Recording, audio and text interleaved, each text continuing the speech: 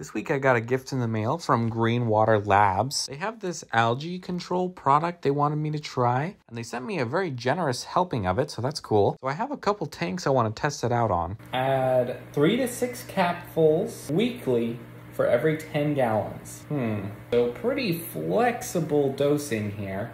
I'm gonna go on the conservative dosing then, and I'll do 12 capfuls weekly and see where that gets us. I haven't had any fish in this tank for quite a while, and so it has a lot of algae growth, so I'm interested in how it helps this tank. I also want to try it out on my shrimp tank, so I'll be trying to dose this weekly and we'll see what happens. I have high hopes.